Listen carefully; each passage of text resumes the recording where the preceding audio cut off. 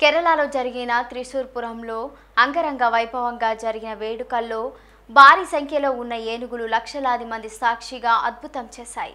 దేశం కోసం ప్రాణత్యాగం చేసిన సైనికులకు నివాళి అర్పిస్తూ వేడుకల్లో భాగంగా ఏనుగులపై ఉత్సవ మూర్తులను ఉంచాల్సిన స్థానంలో సైనికుల ఫోటోలు ఉంచారు.